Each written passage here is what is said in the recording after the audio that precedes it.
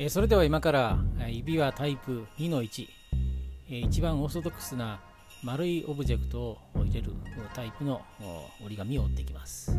使用する折り紙は、え一辺が1 5センチの通常の折り紙の、え8分の1の大きさの折り紙、えそれとその半分の大きさの折り紙、えこの2枚を組み合わせて、え作るとこの折り紙になります。それでは今から指輪を折っていくんですがこの大きさの紙だとちょっと分かりにくいのでこれを拡大したサイズのこの折り紙の大きさで折っていきます。指輪の台の部分につきましては折り紙タイプ2の映像を参考にしてください。ここでは早送りで送ってみます。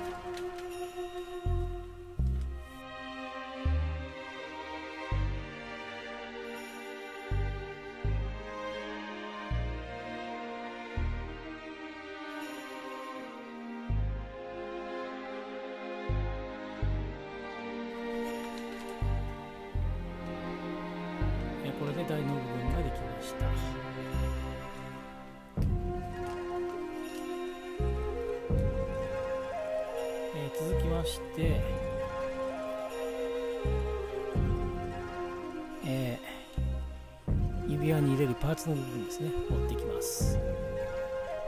まず上と下が大体でいいですから同じぐらいになるように折って逆さまにして上に折り上げて3等分にします、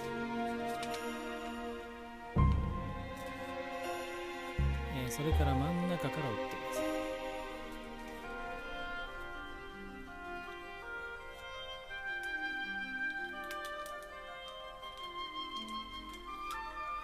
そしてまた3等分ですね。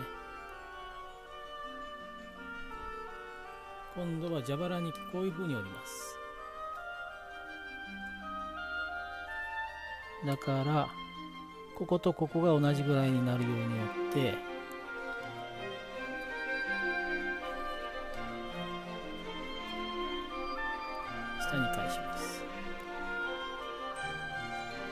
多少ずれたとしても問題はありません。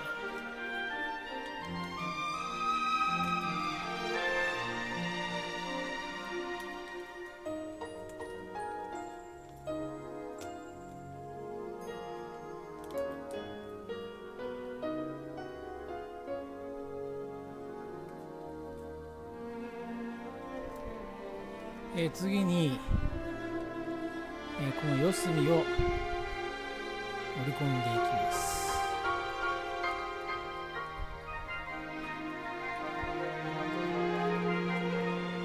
そしてさっき作った台の方に。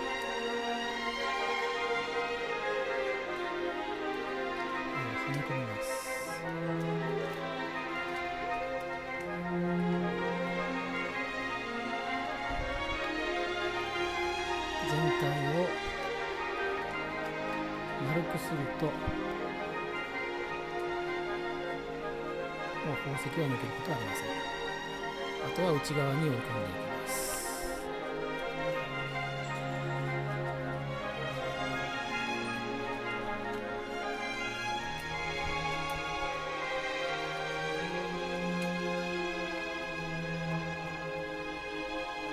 これでも出来上がりでいいんですがさらに、指輪を完成させるためにもう一回折り込みます。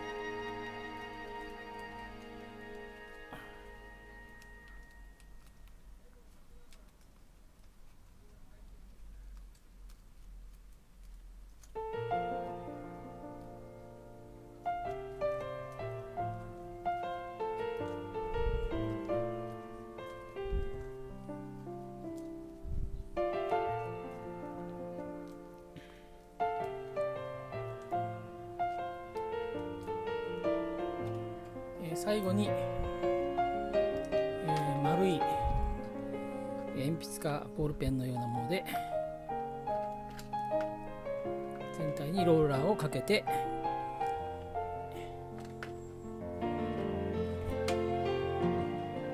出来上がりです。それでは実際の大きさの折り紙でも折ってみたいと思います、えまず台の方。から折っていきます。